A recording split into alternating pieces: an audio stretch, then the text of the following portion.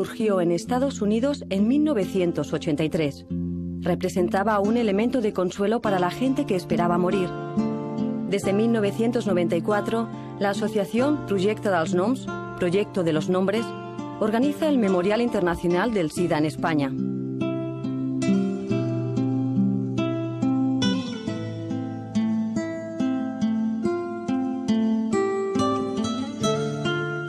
El tapiz memorial del SIDA, confeccionado en más de 40 países, fue nominado al Premio Nobel de la Paz en 1989.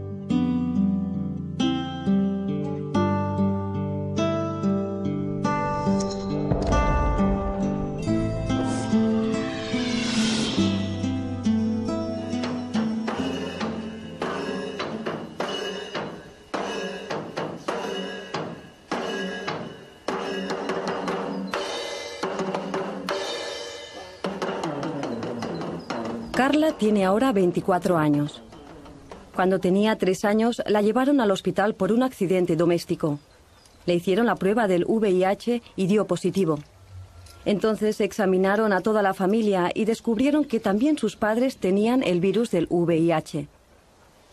Ella forma parte de la segunda generación de afectados por el virus. La transmisión fue por lactancia y bueno, mi madre no sabía con ningún embarazo, eso solo lo he cogido yo. La grande tampoco no debería estar ni ella afectada por el VIH, o sea que fue a partir de cuando nací yo y por suerte la pequeña pues no, no le dio leche y porque se enteraron después de nacer la pequeña, ¿no? que ya tenía un año ella. Hola. Sus padres murieron del SIDA cuando ella era una niña y ahora vive con su abuela y sus dos hermanas. Los médicos decían que al principio que no sabían si Carla viviría más de siete años. Entonces, claro, mi abuela, como nos peleábamos ella y yo mucho, estábamos siempre como perro y gato, mi abuela de alguna manera me dijo, llevaros mejor porque ella se preocupaba mucho, era muy sentida, a lo mejor no me tendría que haber dicho nada o no sé, pero a su manera para mejorar la situación me dijo, que sabes que Carla no está bien y te quiero contar esto, que le pasa esto y que los médicos pues dicen que a lo mejor no pasa los siete años. Y claro, ahí pues como un shock. De repente fatal. Esa noche tuve un sueño con ella, que la perdía y, y en el colegio llorando y fatal. Y cuando a los siete años no pasó lo que tenía que pasar, pues cambiaron las cosas, ya me empezaron a contar todo mejor. Yo también empecé a preguntar y ya lo ve, o sea, sabes lo que te pasa, pero te quedas. ¿Cómo puede ser si que me lo hayan escondido? ¿no? Y poco a poco vas viendo que es por la discriminación que hay, por el rechazo, por, más que nada te estaban protegiendo para que no sufrieras, ¿no? Y yo, claro, pues yo no lo he visto así, ¿no? Y es la diferencia, ¿no? Que los prejuicios que hay de esta enfermedad, yo, como los he vivido desde pequeña, no los he asimilado. ¿no? Sé que son reales, que existen, pero no los encuentro lógicos. ¿no? Y, al no tener estos prejuicios dentro mío, pues nunca he culpado a nadie, ¿no? que también siempre buscan un culpable ¿no? con esta enfermedad. En cambio, con otras dicen, ay, pobrecito, que lo que le ha tocado. ¿no? Y aquí es un poco, no, ha tocado. Y yo, ¿Yo qué he hecho? Si solo he nacido y ya me ha tocado. Yo el rechazo lo, he vivido más que nada en el, cuando eres pequeña, en el, barrio que te mueves, en, tu ambiente. Y nos trataban como si las tres eh, estuviéramos enfermas y tu, tuviera, fuéramos un peligro. Y entonces lo pasas muy mal. Esas cosas te hacen mucho daño. Pero yo con esto es la diferencia, ¿no? De que ella al no tenerlo, la gente se ha atrevido a decirle las cosas, ¿no? A discriminarla. Y a mí hmm. me lo han dicho por la espalda, ¿no? A lo mejor. Como sabían que sí que lo tenía de verdad, pues ya no se atrevían a, a, decírmelo, porque realmente las cosas que le han hecho a ella en la escuela, en las clases, a mí no se han atrevido nunca. son, son pequeños, y, pero es culpa de los padres, ¿no? Porque los padres no tendrían que decirle a un niño, no te relaciones con este niño por esto. Si eres adulto, infórmate, ¿eh? porque es que puedes joder la vida al niño que está infectado, pero también a tu hijo, ¿no? Porque... Sí, esto fue una enfermera precisamente, que es lo que más sorprende. Que es profesional, sí. dices, ¿cómo puede ser? Porque ella lo sabía por eso, porque era enfermera y vio que mis padres estaban enfermos. Es lo que dije, que al principio nos separó porque como era un secreto, la familia lo mantenía en secreto y eso te hace separarte, bueno, desunirte sería la palabra. En mi curso había una chica con diabetes y desde el primer día todo el mundo lo sabía, ¿no? Y yo cambio toda la primaria, yo no le he hablado con nadie de mi clase, ¿no? Desde el primer día pues se habló, ¿no? Y ella sí tenía que ir al, al lavabo, pincharse insulina, nadie lo veía raro, ¿no? Y me hubiera gustado mucho pues desde el primer día poderme tomar las pastillas delante de todo el mundo, que hasta que no he ido a unas colonias de una asociación del VIH o las conferencias estas de jóvenes que participo, no me he podido tomar las pastillas con normalidad. ¿no? Yo creo que cuando conocí a Carla tú debías tener 13 añitos, 13 años o 14. Yo trabajaba en una asociación, en un programa de infancia, y entonces teníamos mucho contacto con la pediatra del hospital, que cuando veía pues que alguna familia o algún niño o alguna niña necesitaba algo, o le podía ir bien conocer a otra gente, pues nos ponía en contacto y creo que nos conocimos así. Sí. Porque eran los, primeros, eran los primeros adolescentes, que eran los primeros niños y niñas que habían nacido con VIH y que llegaban a la adolescencia vivos y se, les, y se les empezaban a dar sus diagnósticos y empezaban a hacerse cargo y a ser responsables de su situación. Fue muy importante porque es donde empecé a tener relación con otra, otros niños que tenían el VIH. Ya no, no piensas que, que te ha pasado solo a ti, ya ves la realidad, no sé. Carla es una de las pocas personas que hemos encontrado dispuestas a hablar públicamente de su condición de seropositiva. Esto se debe, en parte, al gran apoyo que ha recibido de la trabajadora social Ita Maragall. Ita lleva más de 20 años trabajando con jóvenes y mujeres seropositivas en diferentes asociaciones de Barcelona. También realiza talleres de prevención para jóvenes. A veces, por ejemplo, voy a alguna boda de familia, alguna cosa así, que estás en una mesa, todo el mundo súper elegante, bien puesto, y todo el mundo, ¿y tú de qué trabajas? ¿Tú de qué trabajas? Entonces, cuando me preguntan a mí de qué trabajo, siempre hay un gran silencio, normalmente. Mucha gente preguntaba, ah, ¿y no te da miedo? Entonces yo siempre pregunto, ¿miedo de qué? ¿No? Entonces la gente, bueno, miedo a infectarte. Digo, bueno, creo que sabes cuáles son las vías de transmisión y en principio, si no tengo relaciones sexuales con la gente con quien trabajo, creo que puedo estar muy tranquila y si las tuviera con preservativo también lo podría estar. Entonces esto ya descoloca un poco a la gente que a mí me gusta. Pregunta, no, si no es muy duro, porque claro, trabajar con enfermedad, con muerte. Y hombre, digo, sí, que pues es la vida, ¿no? Un poco, la, la, enfermedad existe en la vida, la muerte existe en la vida y, y, es lo que hay. Digo, pero hoy en día, para mí, como, como trabajadora social, a veces me resulta más duro con la gente con la que trabajo enfrentar lo mal que se lo pasan por no poder explicar a quien quieren que tienen el VIH, por el miedo a ser rechazados, por los problemas en el trabajo, por, por la discriminación, por el tener miedo de no ser aceptado, de no poder decir quién eres, qué te pasa y cómo vives. Ahora me parece más duro esto que no en sí trabajar con la enfermedad y la muerte. Hace ya 30 años que el SIDA irrumpió en nuestras vidas en estas tres décadas, el VIH ha infectado a más de 60 millones de personas en todo el mundo, 25 de los cuales ya han muerto. En España se estima que entre 120.000 y 150.000 personas son seropositivas. Cada año se diagnostican entre 2.500 y 3.500 nuevas infecciones. Aunque actualmente la infección por el VIH es más una situación crónica que mortal, los especialistas están alarmados por la falta de conciencia por parte de la mayoría de la población del riesgo de ser infectados. Yo creo que la historia del SIDA tiene diferentes etapas. La etapa de los años 90 fue la etapa del sexo seguro. todo el mundo mm, empezó a utilizar medidas preventivas, fundamentalmente porque había un motor que era la muerte y que obligó a todos los colectivos a, eh, cambiar de hábitos. Cuando el año 96-97 empiezan los tratamientos antirretrovirales, eh, bueno, mm, la percepción eh, cambia absolutamente. Y además hay un principio muy interesante en salud pública que dice que un paso adelante en tratamientos son siempre dos pasos atrás en prevención. Es decir, cuando uno resuelve un problema, eh, la gente baja la guardia. Y esto es lo que ha pasado con el VIH. Se está produciendo un aumento de las nuevas infecciones por VIH de manera continuada. Con lo cual, eh, si bien es cierto que ha cambiado radicalmente el escenario de la infección y que no era una infección mortal en siete años como era antes, las personas envejecen mucho más, tienen una expectativa de vida eh, normal, entre comillas, pero con un riesgo mayor de complicaciones y de envejecimiento más rápido. Y otra cosa que yo quiero decir, que yo, por ejemplo, me tuve que hacer la prueba, pero porque yo tuve una relación sexual mm, sin protegerme.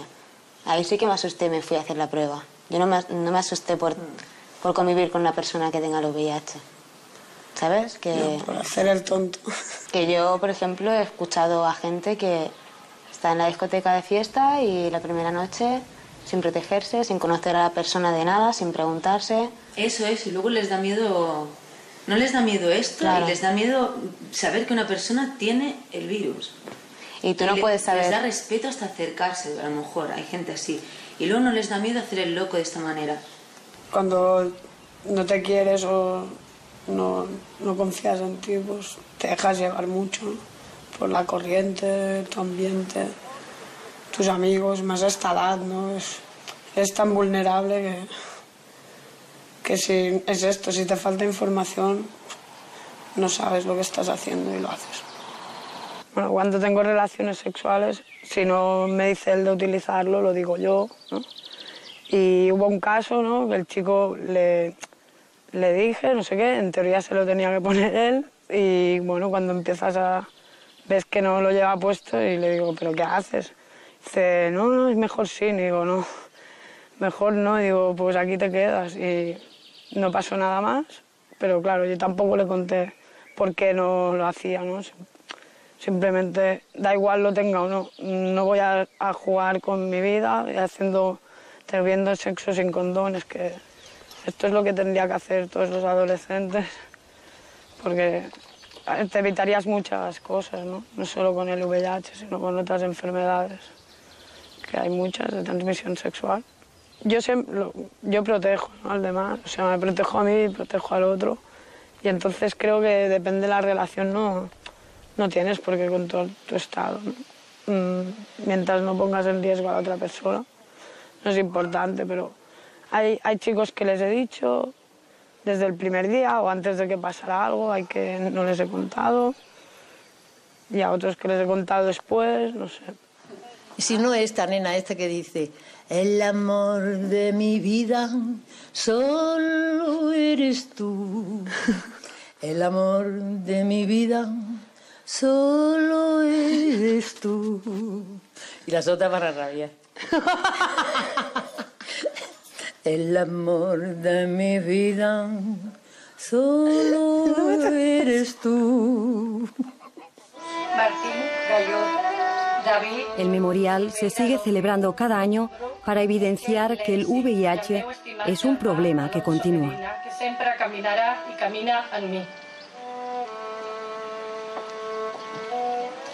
Carlos Jorge, Rafael Tort, Hemos hecho un gran camino en los progresos técnicos, en el control de la infección por el VIH, pero no hemos recorrido el mismo camino en aspectos sociales. Hoy, todavía hoy, la infección por el VIH es una enfermedad estigmatizada. Nuestro deseo es que el mismo camino que hemos recorrido, los grandes avances que hemos hecho en progresos técnicos de la enfermedad, lo alcanzásemos también en la aceptación social y en la normalización de la infección por el VIH como cualquier otra enfermedad. Según la Organización Mundial de la Salud, las nuevas infecciones se han duplicado en los últimos cinco años en Europa y los afectados son cada vez más jóvenes. Marcos sabe que es seropositivo desde hace dos años. Ahora tiene 25. Desde que supo su diagnóstico, sus prioridades han cambiado. Antes solo pensaba en disfrutar y vivir el momento. Hace poco ha empezado la universidad. Estudia trabajo social. Tuve dos relaciones casi simultáneas a la vez y si una persona, uno de ellos sí tenía VIH, me lo sabía, lo conocíamos y tomamos todas las medidas. Lo que pasa es que luego tuve otra, al poco tiempo, con un chico que tenía más confianza, que llevábamos ya bastante tiempo hablando y eso, y nos descuidamos y no usamos el preservativo. O sea, en una noche de la cena, el vino y esas cosas, y una cosa lleva a la otra, y fuimos directamente a la habitación sin pensar en consecuencias ni nada. El, el calentón, el aquí te pillo y aquí te mato. O sea, no hubo más. No pensamos y luego encima también el vinito hizo lo suyo durante la cena. Y fui para el médico y cuando me hizo la revisión el médico y esto, me dijo, voy a hacerte unas pruebas del VIH por si acaso. Y claro, pues cuando ya el médico, me senté con el médico a que me dijese, ya no sabía ni cómo decírmelo el médico. Era mi médico de cabecera de toda la vida, de que me, conocía de que tenía dos años y no sabía cómo... Y claro, ya se lo solté ¿a qué va a ser esto? Según llegué a casa, convivía con mi mejor amiga, que nos conocemos desde hace... de toda la vida, vamos, desde los dos añitos, pues ella que vivía conmigo, pues más o menos estaba... Eh, sabía lo que era la situación, sabía los resultados y eso, y cuando llegué y se lo confirmé, pues casi fue más pena para ella que para mí. Sí, no sé, le, le dio como esto y ahora qué hacemos, no sé qué, o sea, se implicó muchísimo conmigo, de, como si fuésemos ya dos que vamos a ir todo el camino juntos. Y eso que es una amiga. Y bueno, y luego cuando terminé pues, de hablar con mi mejor amiga y esto, pues fui a hablar con otro amigo, trabaja para una asociación y eso, y él fue más o menos el que me, me informó un poquito de las condiciones de los médicos, de los hospitales, de los tratamientos. Y es eso, como él trabaja para una, para una organización y eso, me dijo, pues mira, acércate con nosotros para unos grupos de apoyo, no sé qué, que hay para personas que están infectadas, que no saben cómo tratarlo y eso. Y a partir de ahí, de él, he ido conociendo más personas en mi misma situación, que quieras que no, pues hablándolo y eso, pues llegas a entender más cosas, puedes llegar a hablar un poquito más y descubres que hay más gente en tu situación y que no es tan, que no es tan grave, que es más fácil decirlo y sobrellevarlo que tenerlo oculto que ya es, que he estado demasiado tiempo dentro de un armario, estar otra vez en otro es muy pesado. Y luego pues ya mi médico de cabecera me derivó a la, a la especialización, al hospital que me correspondía por zona. Y allí es donde me están tratando ahora tranquilamente, que llevan viéndome unos cuantos añitos, haciéndome pruebas, controlándome la carga viral y, y todo, las defensas, y más o menos pues ha, ido bien hasta ahora que me ha bajado un poquito y puede que empiece a tomar la medicación. Así, resumiendo, lo más difícil de ser positivo es el miedo que te causa eh, el serlo, o sea, por lo que te puede conllevar, o sea, por las relaciones que puedes tener en el trabajo, en el instituto, en, en la facultad, con los amigos, o sea, el que te cierran una puerta, que te rechacen o algo, es lo que más te asusta y es ese miedo lo que más difícil se hace, porque luego tomar una pastilla sí se puede hacer complicado, pero te puedes acostumbrar. El estigma y la discriminación perduran en todo el mundo. Se le conoce como la segunda epidemia. La gente con VIH todavía tiene que soportar este gran lastre. Según ONU-SIDA, programa de las Naciones Unidas creado para conseguir una respuesta más efectiva al SIDA, el estigma se manifiesta, desgraciadamente y de forma notable, en el sector sanitario. Y me acuerdo una vez que me contó que fue al médico y una enfermera le preguntó, ¿y cómo lo has cogido? O qué, ¿sabes? Me dijo, ¿y todavía te drogas? Y me quedé así, digo, perdona, digo, he probado drogas, pero yo no me he chutado nunca, ¿sabes? Y se quedó así, desde pequeña. Ah.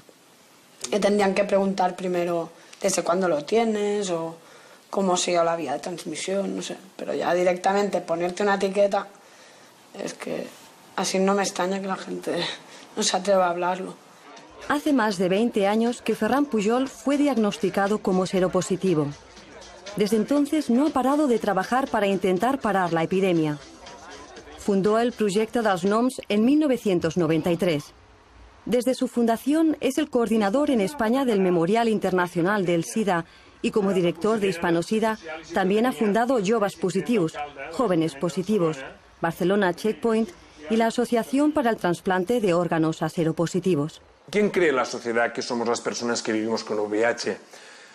Si fuera posible verlas como yo les veo, algunas enfermeras, en concreto una enfermera amiga mía que es seropositiva, y tantas otras personas verían, pues, creo que se normalizaría en cinco minutos la cuestión del VIH. Esta amiga mía enfermera, por ejemplo, ha tenido rechazo dentro del propio hospital donde trabaja y este rechazo proviene de la propia clase sanitaria, que una vez le pintó con unos grafitis la, taquilla donde ella deja sus cosas, ¿no? Y ella me reflexionó y me dijo, pues mira, Ferran, si esto me pasa dentro de mi propio colectivo, imagínate por un momento si yo hiciese pública mi condición.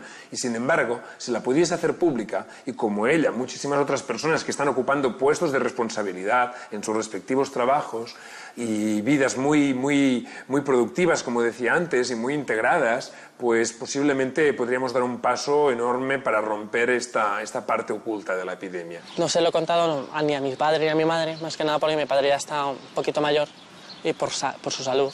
Un disgusto de este tamaño pues podría hacerle que empeorase.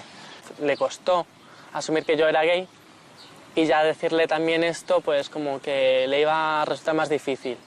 María José Fusté se infectó en la primera época de la enfermedad. Es la fundadora de la Coordinadora Estatal de VIH-Sida, CESIDA, y presidenta durante cuatro años. Forma parte del Departamento de Psicología Social de la UNED y dinamiza grupos de autoapoyo. Sin duda, esto tiene importantes consecuencias porque eh, en general la sociedad no conoce a personas con VIH. En nuestra encuesta, más de un 50% no conoce a nadie con VIH. Y hemos visto en, los análisis que a más cercanía y con personas con VIH disminuye el prejuicio. Claro, porque conoces el problema y puedes sentir más empatía hacia nosotros. Entonces, claro, una labor fundamental que tenemos que hacer es, y que ya estamos haciendo en muchas organizaciones, es ir trabajando un poco, liberando a las personas con VIH de todos estos sentimientos de vergüenza, incrementando su autoestima, para que por lo menos en los contextos seguros, como la familia, amigos u, otros contextos parecidos se pueda ir confiando en los demás, revelando, porque esto no solo acerca el problema a la sociedad, sino que además pues, es una fuente de apoyo para las personas con VIH y eso va a ayudar mucho en el afrontamiento de esto. Luego en el tema laboral, o sea, no he dicho nunca nada. No creo yo que haya problemas, o sea, no creo yo que por parte de mis jefes surja un problema de decir mm, no nos sirves yo me dedico a la hostelería, tampoco es un trabajo de riesgo donde pueda haber muchos contagios ni nada. Es más la reacción de mis compañeros, de trabajar con una persona que a lo mejor está infectada y eso. Prefiero mantenerlo oculto, por así decirlo, para que no haya malos entendidos, ni haya problemas, y se trabaje en un buen ambiente, que no haya ninguna tensión ni nada.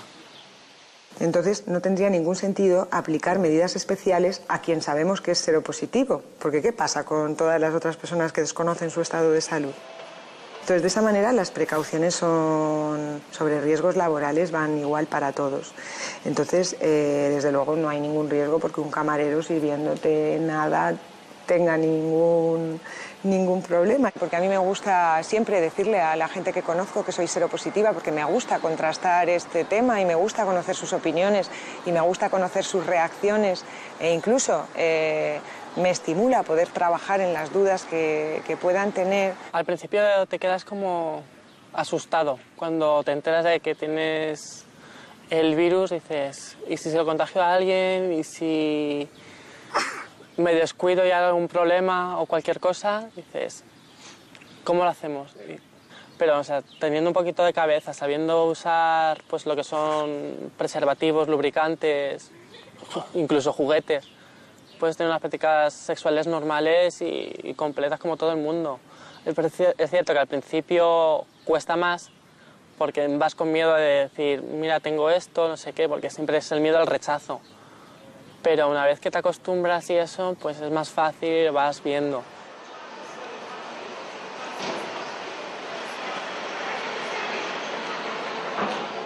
Es tremendamente importante caer en la cuenta de que uno no reconoce en ningún signo a una persona que está infectada por el VIH. tengo la impresión que todavía no se ha conseguido quitarnos de la cabeza que el VIH es patrimonio casi exclusivo de algunos grupos de población que tienen determinadas prácticas. Las personas que han infectado en los últimos años no pertenecen a ninguno de los grupos que asociamos con esta infección. No son usuarios de drogas, no son gente con prácticas de riesgo sexuales explícitamente asociadas con la infección, sino que la inmensa mayoría son gente cuya práctica de riesgo es haber mantenido relaciones heterosexuales sin protección. Son gente que comparten con nosotros el ascensor, son gente que trabaja en nuestras oficinas, son gente que nos atienden cuando vamos a unos grandes almacenes, son gente que nos ven cuando vamos al médico, a un abogado o a hacernos los planos de nuestra casa.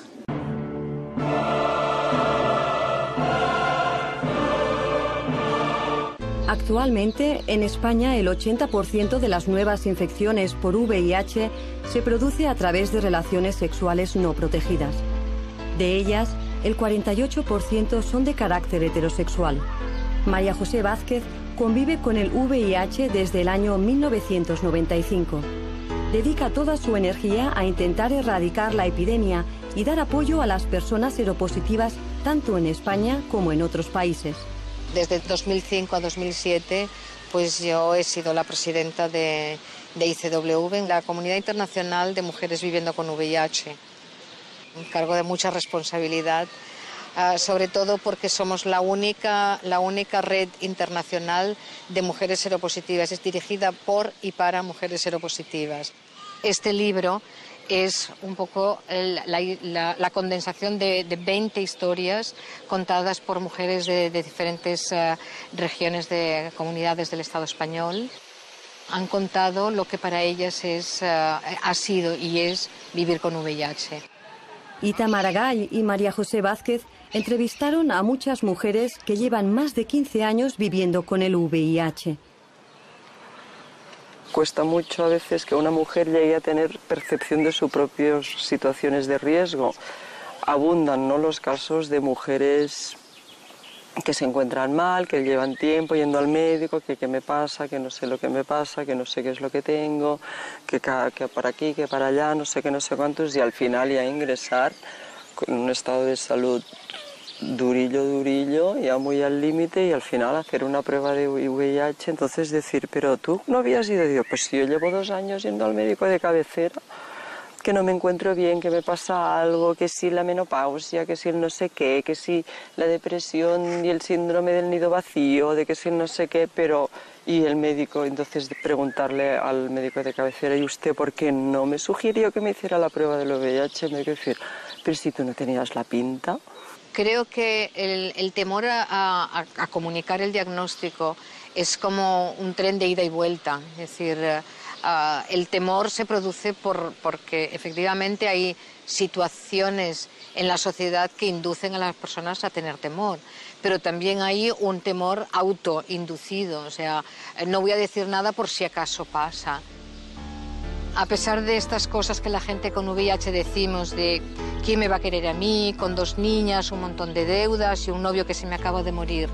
Pues hija mía, tengo una suerte tremenda. Conozco una persona y en la primera conversación le digo, mira, que me gustaría mucho acostarme contigo, pero te voy a decir lo que hay para que no sea una sorpresa, soy seropositiva. Ese hombre va y me dice, bueno, nadie es perfecto, y esa relación va camino de los 12 años. Ojalá, efectivamente, que la angustia de las personas ya no tenga que ser la aceptación social, ya no tenga que ser las preocupaciones que la sociedad todavía impone, impone a los que están infectados eh, por el VIH y pudiéramos centrarnos nosotros y ellos exclusivamente en los problemas médicos. La enfermedad, o sea, no es de inmediato tienes que empezar a tomar una medicación, o sea, se tienen que dar unas condiciones de, de que haya tanto número de virus y tengas una determinada cantidad de defensas. En el momento en el que hay unas defensas muy bajas y un virus muy alto es cuando te dicen pastilla para el canto. Bueno, cuando uno se infecta por el VIH, eh, la diseminación del virus por el organismo es inmediata y tremenda. Es decir, en, en dos, en dos, tres días eh, invade muchas células y ya el virus se queda para siempre. Las personas seropositivas durante los primeros años, eh, bueno, mantienen en cierto modo al virus a raya. Es decir, el virus está dormido y está ahí dentro de las células y no produce ningún efecto. Al cabo de 3, 4, 5, 6, 7 años, el virus empieza a despertarse y empieza a matar nuestras defensas, nuestro sistema inmunitario. Y en el momento en que nuestro sistema inmunitario está deteriorado, aparecen otras infecciones, aparecen como consecuencia de esa, eh, falta de defensas, aparecen otras infecciones que son lo que se denomina el SIDA, es decir, la aparición de la enfermedad. Por tanto, pues seropositivo es cuando el virus está dormido y enfermo de SIDA es cuando el virus se ha despertado, nos ha destruido el sistema inmunitario y ya aparece la enfermedad. Incluso muchas veces damos a entender, cuando hablamos de la bajada de casos de SIDA, de que están disminuyendo las infecciones. Y esto no es así. Hay que decir muy claro que en España, a pesar de que el SIDA baje, las nuevas infecciones o el VIH eh, sube.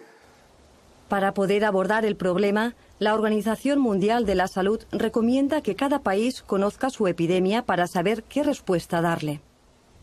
En España todavía no existe un registro nacional de nuevas infecciones. Solo hay datos sobre el 32% de la población en ocho comunidades autónomas. En estas circunstancias resulta muy difícil dirigir los esfuerzos de forma eficaz. La infección por el VIH no es una infección banal que se pueda ah, cronificar y ya está. Es cierto que se controla, que se cronifica, pero conlleva una serie de problemas importantes. Conlleva un importante riesgo cardiovascular, comporta un riesgo de envejecimiento más rápido, comporta un riesgo de toxicidad ósea eh, importante a la larga, con osteoporosis, fracturas óseas, etc. Y comporta un riesgo también de toxicidad renal. Todo esto tiene su importancia y sobre todo a nivel de riesgo cardiovascular, de inflamación crónica mantenida, pues uh, pueden haber muchos problemas. Ah, implica que no se puede dejar la medicación nunca porque ese riesgo cardiovascular es muchísimo mayor entonces. Auri Segador lleva 30 años trabajando como enfermera en el Hospital de Córdoba, 17 de ellos en la unidad de infecciosos. Intenta conseguir que las personas infectadas prosigan año tras año sus tratamientos antirretrovirales y que no los abandonen desanimados a causa de los efectos secundarios que provocan. El que piense la gente ahora ya nadie se muere de sida, pues ya no es un problema. No, no, señor, la gente se sigue muriendo. O sea, la gente que no se muere es porque realmente está haciendo las cosas adecuadamente, su tratamiento adecuadamente, sus revisiones adecuadamente y su prevención adecuadamente. ¿eh? Porque es la autoprevención para evitar las reinfecciones, tener una vida saludable, ¿no? sexual ¿eh? y evitar la, la transmisión. ¿no? Me lo están repitiendo, que no se me olvidó tomar una toma, que si se me olvidó un par de tomas que acuda al médico, porque es continuo, o sea, ya es en el momento en el que empiezo ya no puedo dejar de tomarlo hasta que haya una cura definitiva o, o llegue el final, ¿sabes? Pero más o menos es, es eso, o sea, condenado a una pastilla diaria o tres. Si pensamos que hoy por hoy eh, el tratamiento tiene que ser de por vida, aunque esperamos poder tener éxito con la vacuna, eso es algo que es a medio o largo plazo, el coste que está teniendo esta epidemia es enorme y eso puede afectar a la sostenibilidad global del sistema sanitario. Hay una parte solidaria de todas las personas que debemos hacer lo posible para no sobrecargarlo y una de ellas es prevenir enfermedades e infecciones. O sea, igual que no hay que fumar porque eso tiene unos riesgos, ¿no? Pues hay que evitar eh, unas complicaciones o unas infecciones que son perfectamente eh, prevenibles y que en cambio eh, si se adquieren pues luego tienen una carga mantenida que es muy costosa y que o sea, un tratamiento anti-VIH tiene un coste de unos 900 euros al mes aproximadamente por persona. Entonces claro en este hospital hay 2.500 personas en tratamiento, solo hay que hacer multiplicaciones sencillas y se verá que el coste es enorme. Para mí lo más difícil es la medicación. Es que tendré que estar toda la vida dependiendo de estas pastillas, cada 12 horas. Antes me tomaba hasta 27 pastillas al día, ¿no? y un poco la rebeldía de la edad también, pues te la dejas de tomar o te la tomas mal, ¿no? Y yo llegué a una edad que, viendo lo que podía pasar con no tomártela, pues decidí no tomármela. Y me sentía bien igualmente y vivía bien, pero bueno, mis defensas y mi carga viral pues sí que lo notaron y ya un poco crecidita ya me impliqué, me responsabilicé y me la tomo sola la medicación. El VIH es un grave problema mm, de la humanidad, sobre todo porque se transmite a través de las relaciones sexuales y relaciones sexuales mantiene pues el 90 y mucho por ciento de la población, con lo cual realmente mm, las posibilidades de transmisión son eh, muy grandes.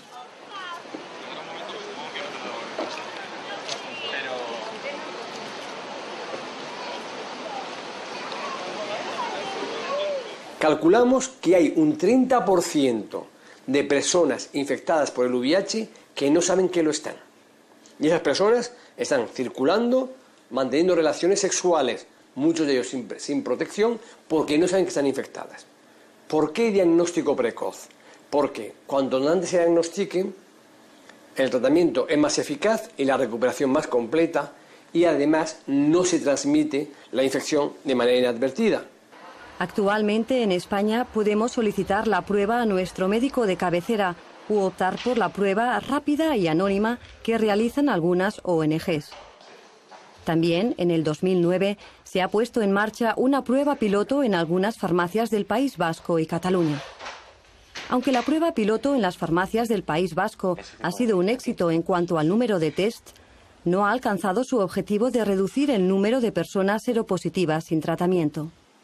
La gran mayoría de las personas halladas positivas no van a la cita de confirmación en un centro de salud y no se someten a ningún tratamiento. Una de las posibles causas es no querer enfrentarse a esta prueba en soledad. Una persona cuando se le diagnostica el VIH no le está diagnosticando una gripe, les estás dando un crack emocional y, de futuro. En ese momento una persona que desconoce qué significa tener VIH, con lo que hay en el entorno social y con lo que se escucha, estás hablándole de muerte, estás hablándole de bloqueo de todo tu, tu futuro. Y a esa persona no la puedes dejar en ese estado, con ese diagnóstico y dejarle en la calle. Tiene que haber un counseling. Cuando a una persona se le diagnostica el VIH, lo más importante es que en ese momento haya alguien que le explique qué significa, que le tranquilice y que le acompañe. Hasta el momento en que un médico ya le dé un diagnóstico de confirmación. Por este motivo, las ONGs abogan por la importancia de un seguimiento mucho más cercano de las personas que acuden a hacerse la prueba. Estas son atendidas por unos técnicos que durante el tiempo de espera del resultado les dan consejos para evitar las prácticas de riesgo. Si el resultado es positivo, se ofrecen para acompañarles a la prueba de confirmación y en el inicio de su ruta médica. En caso de un resultado negativo, instruyen a la persona para que no se exponga a más riesgos. En Kogam, el 10% de las personas que han hecho la prueba rápida allí ha tenido un resultado preliminarmente positivo. En Barcelona Checkpoint detectan entre 3 y 4 nuevas infecciones cada semana. Aunque está demostrado que este modelo es eficaz, su uso todavía no está generalizado. El reto es cómo diagnosticarlas. Personas que se encontrarían en riesgo de adquirir la infección, digamos entre los 14 y los 70 años, a todas esas personas hacerle la prueba del VIH, independientemente del motivo por el que consulten. Seguramente ningún individuo en su sano juicio se negaría a esta prueba. No entiendo yo bien por qué no se universaliza la prueba del VIH que tendría como finalidad lo que estamos comentando, detectarlo precozmente, evitar la transmisión y sobre todo evitar que la infección progrese hasta fines donde luego no sea difícil combatirlo. La vía adecuada es informar a alguien que entre los análisis que le vas a pedir se incluye el VIH y si el paciente se la desea hacer, se le hace. Y si el paciente no se la quiere hacer, no se le hace. La experiencia es que a todo aquel que se lo propone quiere hacérsela. Ah, mire, le estoy cuidando una infección urinaria. Le voy a pedir el VIH. ¿Sabe? Porque si lo es, mire, nos enteramos. Y si no lo es, chico, ¿sabes, no? Pero yo y aquel. Acompaña a Carla a sus revisiones periódicas.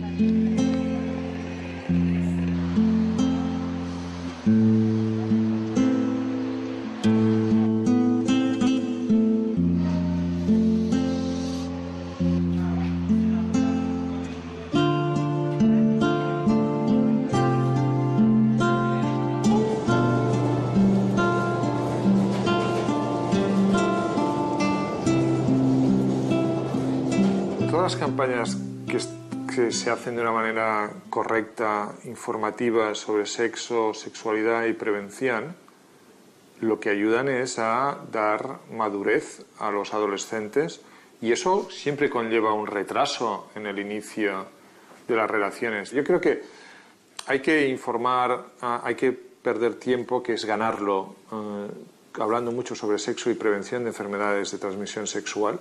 Y si eso se pudiera hacer y la sociedad no fuera hipócrita, estaríamos todos mucho mejor. Habría, como digo, yo creo que menos violencia de género y habría menos enfermedades de transmisión sexual y eh, habría ah, más prevención del SIDA. Si desde el principio a las personas, a los chavales, no les educas en que la utilización del preservativo es algo natural, normal y que tienes derecho a utilizarlo, al cabo de 10 años vas a tener VIH, vas o tienes muchas posibilidades de tenerlo. Entonces, la educación se tiene que partir antes de tener las relaciones sexuales, para que nunca te pase a lo largo de tu vida.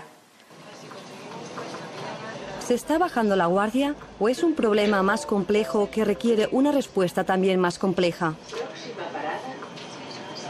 Según Onusida, el problema no es tanto que hemos bajado la guardia, sino que no se puede mantener la movilización ante una amenaza de manera indefinida.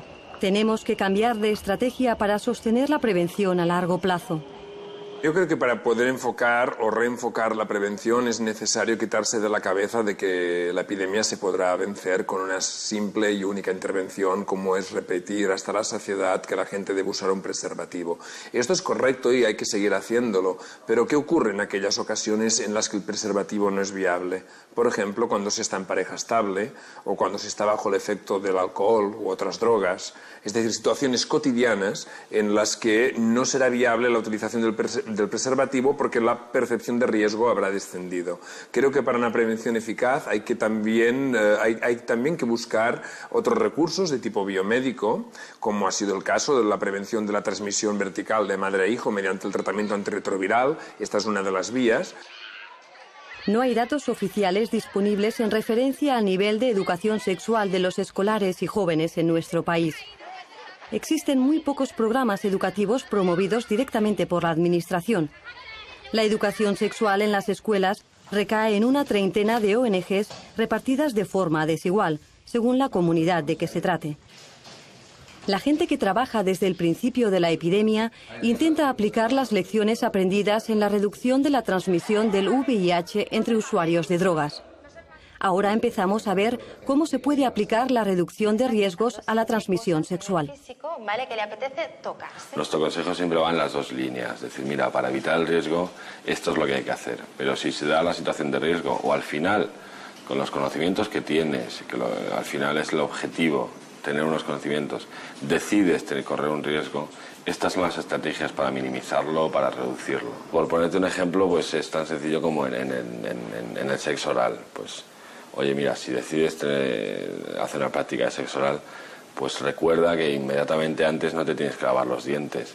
Que es una cosa que en muchas ocasiones hacemos automático, ¿no? Voy a tener un encuentro sexual, me lavo los dientes para aquello de oler bien y tener aliento a menta y esas cosas. Pero al final no nos damos cuenta de que eso lo que está haciendo es eh, que nuestras encías, eh, cualquier herida que podamos tener, pues se abran. Y eso ya es una vía de entrada para alguna infección de transmisión sexual porque 12 años atrás eran intervenciones también muy vinculadas al miedo, a otra vivencia de la enfermedad en la cual no existían recursos terapéuticos como ahora existen. Y claro, eso nos hizo reflexionar. Estamos también ofreciendo una visión de la sexualidad muy negativizada, muy desde el miedo. Entonces, la propuesta es darle la vuelta, manteniendo algunas constantes, como sobre todo trabajar desde la información que ya tienen los jóvenes y desde su realidad y hay que trabajar a partir de ahí, mm, no pasando por la culpabilización, sino seguramente por viendo cómo podemos gestionar ese riesgo o dar herramientas para que él, la joven, puedan gestionar ese riesgo, porque el riesgo ya se ha producido y convivimos con el riesgo. En SIDA pues trabajamos Hace 12 años que la asociación SIDA Study ofrece el taller Prevenir para Disfrutar para adolescentes de entre 14 y 16 años en varias escuelas de Barcelona. Cada taller consta de tres sesiones de dos horas. ¿Qué os viene a la cabeza cuando hablamos de sexualidad? A lo largo de la vida yo os propongo que nos vayamos preguntando el por qué. ¿Por qué a mí me gusta o me gustaría mantener relaciones sexuales? Y el cómo.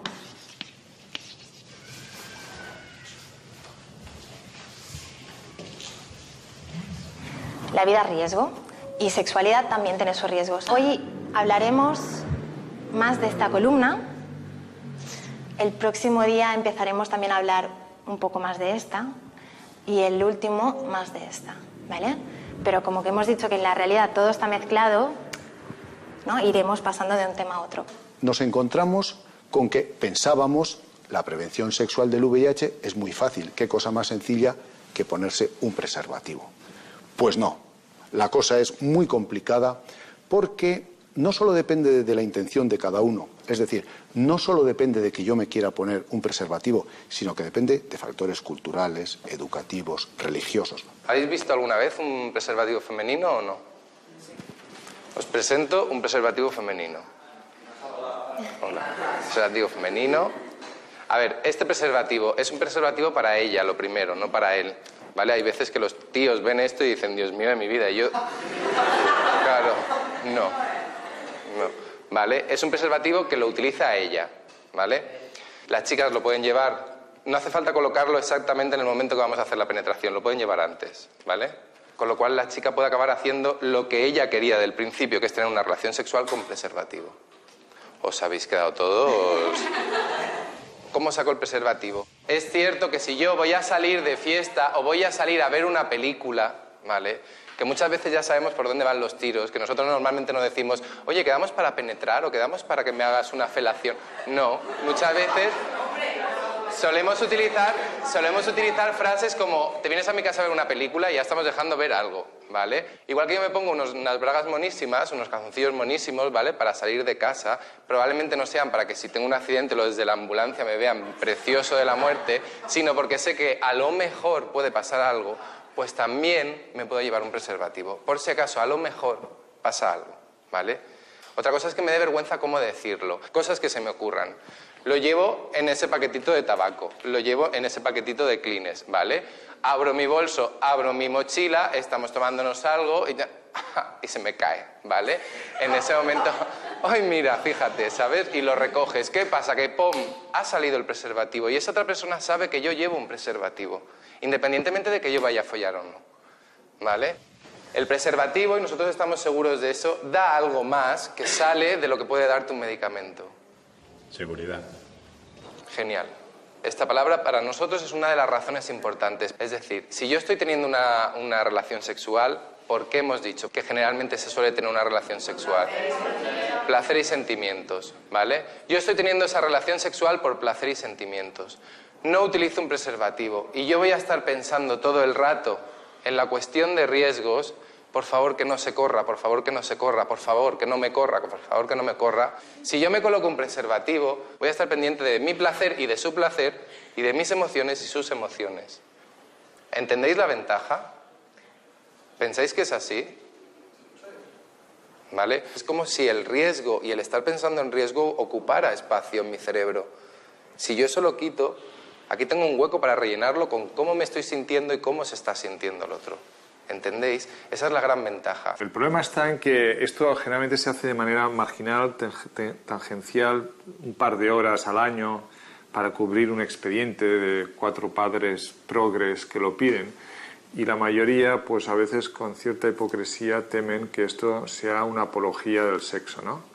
libertario, y eso es un gran error. Cuando nosotros desarrollamos programas en las escuelas y preguntamos a los chicos y a las chicas eh, si utilizarían un preservativo o si sacarían un preservativo en un momento dado, la chica siempre nos dice, no, no, el chico nos dice, eh, yo si saco un preservativo, ella va a pensar que yo voy a lo que voy.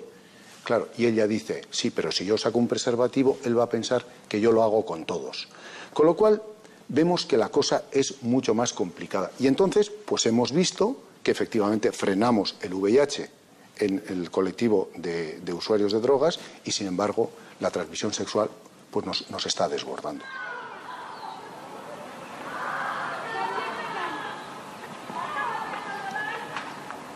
Yo una de las esperanzas que tengo es eso, poder contárselo al mayor número de personas posibles, que se haga algo normal, porque ya el hecho de que se vea tan mal que no se lo puedo contar a mi padre, que es una persona tan allegada a mí por que le vaya a dar un disgusto y no lo vea pues como si fuese algo normal, como el que coge, no sé, un, un herpes o un hongo, cualquier cosa, que lo sufran tanto y eso. Y eso es una cosa de las que hay que cambiar.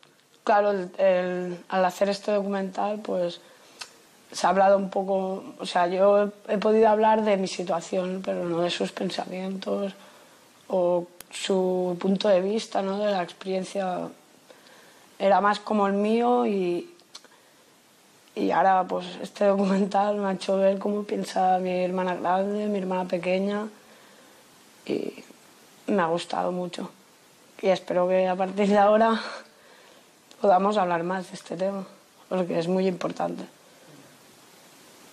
Que se pueda hablar entre la familia y bueno, y ojalá que algún día podamos hablar con todo el mundo, ¿no? Y es uno de los factores más importantes, o sea, quitar el miedo, sea, porque básicamente se tiene miedo a lo que no se conoce, porque realmente la gente que conozco no se ha informado hasta que no han tenido un caso cerca. O sea, es que es el virus, o sea, es una enfermedad normal y corriente, o sea, es a lo que hay que temerle, a ese virus que puede hacerte daño, pero no a la persona.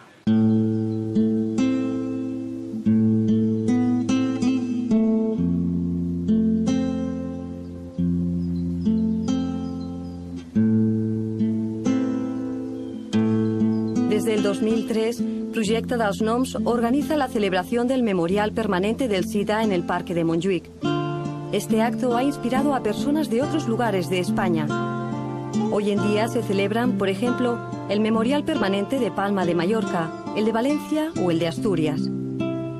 Todos ellos tienen como finalidad honrar la memoria de las personas que murieron, muchas de ellas tratadas de manera injusta, con la esperanza de que estas celebraciones ayuden a sensibilizar sobre el hecho de que convivimos con el VIH.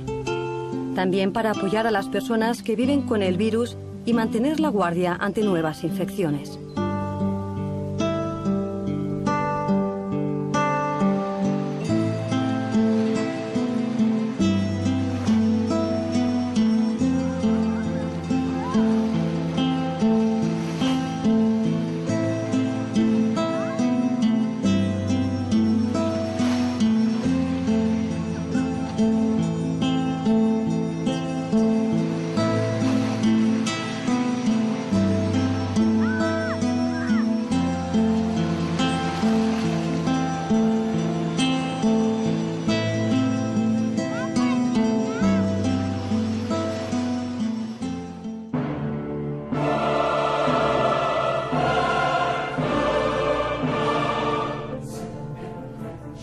Que existe el ser humano, ha existido la tortura.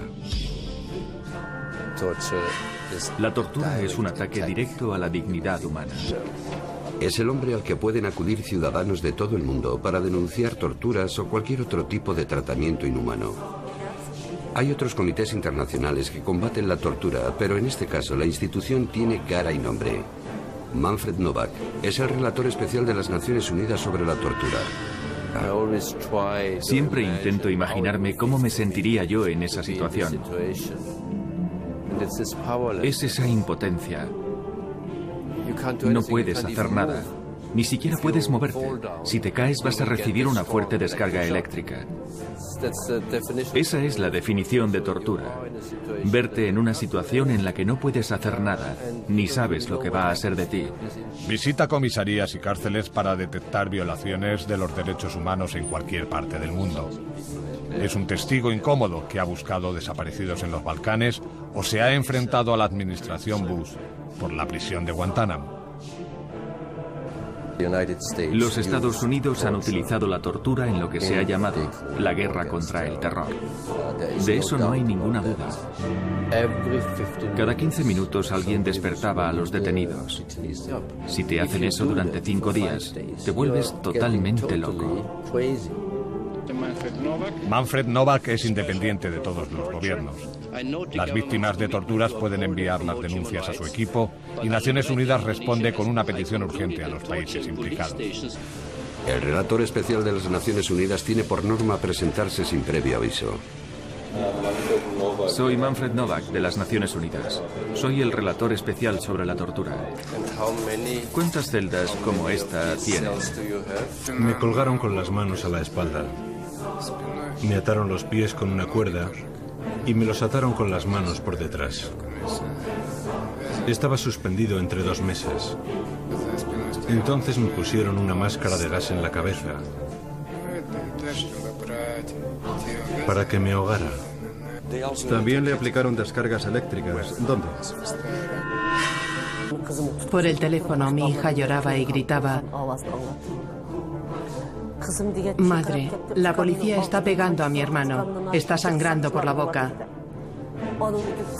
Gritaba, van a matar a mi hermano. Siguieron pegándole sin parar hasta que las nalgas eran como un gran hematoma. Y entonces es cuando se hinchan y cuando aparecen los abscesos. Uno me puso un palo en el cuello para que no pudiera levantar la cabeza, porque no quieren que les veas la cara a los que te están pegando. Para Manfred Novak, la defensa de los derechos humanos ha transformado el mundo, pero reclama que no se baje la guardia. Intentas no dejar de creer en la dignidad y en la bondad del ser humano. Pero estos crímenes existen. Persiguiendo la tortura. La próxima semana, en documento.